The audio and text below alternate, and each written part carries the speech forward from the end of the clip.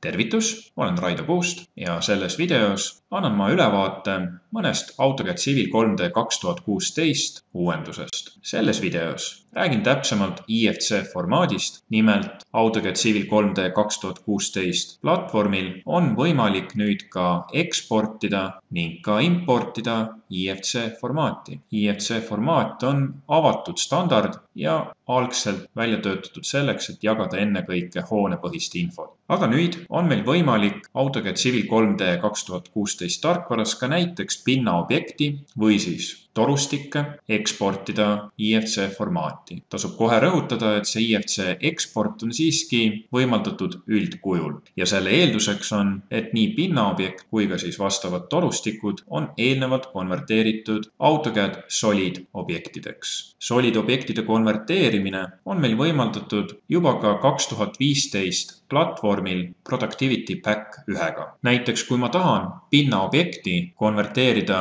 AutoCAD Solidiks, siis ma valin pinnaobjekti ja seejärel riba peal saan valida Extract from surface ja nüüd Extract solids from surface. teen siin kliki, kuvatakse dialoog Extract solid from surface ja mul on mitmed erinevad võimalused, kuidas ma nüüd sellest olemasolevast pinnaobjektist saan solid objekti. tasub mõistagi rõhutada, et meie hetke eesmärk on saada infot IFC formaati. seega algne disain peaks kindlasti alles jääma ja mõistlik on seetõttu IFC formaadiga või siis nende objektidega tegeleda võib-olla omaette faili failiski, et me ei ajaks kahte asja omavahel segamini. igal juhul ma saan selle solid objekti teha siis mitmel erineval viisil. ma hetkel kasutan siin depth ehk siis oletan, et minu nii-öelda pinnaobjekti paksuseks saab kümme sentimeetrit. ma ei saa jätta seda nulli peale ja seejärel vajutan Create Solid. seejärel on mul olemas 3D Solid objekt, mul on siin endiselt ka thin surface, ma valin thin surface objekti ja kustutan selle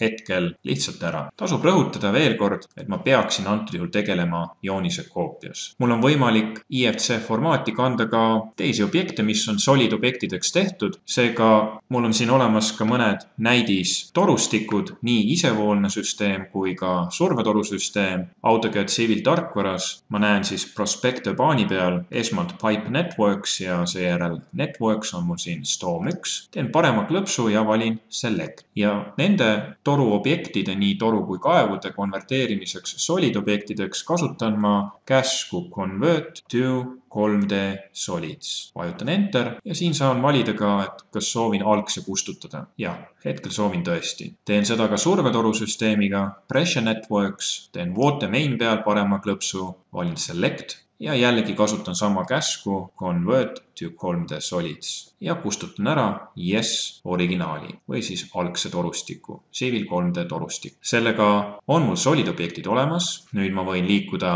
export ja omakorda IFC.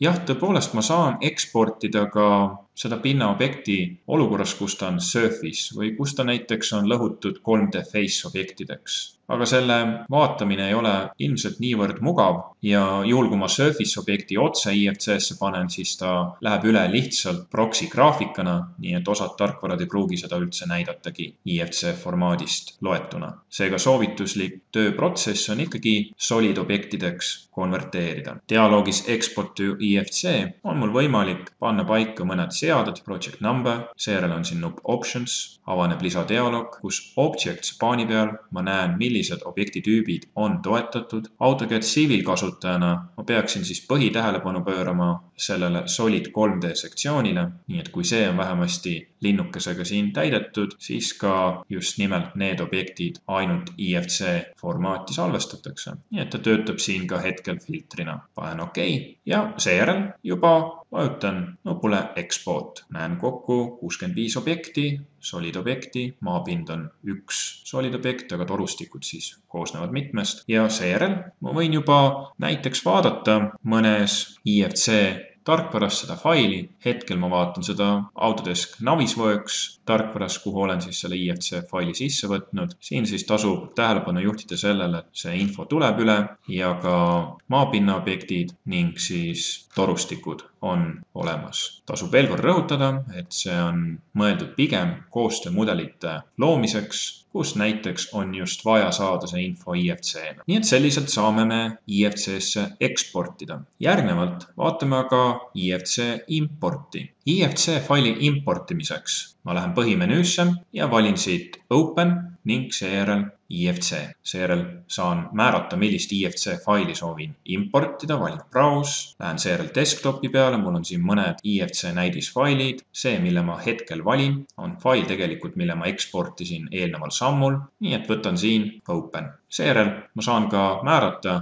millisesse asukohta IFC faili baasil uus joonis tekitatakse ning mis on ka selle nimetus. vaikimisi kasutab ta sama nimetust, mis on ka IFC faili. panen siia ette hetkel lihtsalt import. mul on ka options nupp, ka siin siis saan valida, milliseid objekte IFC failist imporditakse. jätan selle valiku hetkel vaikimisi ja nüüd vajutan create nupule. toimub IFC faili import, minu käest küsitakse, kas ma soovin avada impordi käigus loodud faili, vajutan yes ja ma tõepoolest näen, et see info on IFC failist üle kantud ja selle baasil DVG joonis loodud. nii et sellised on AutoCAD Civil 3D kaks tuhat kuusteist platvormil IFC-ga seotud täiendused, uuendused.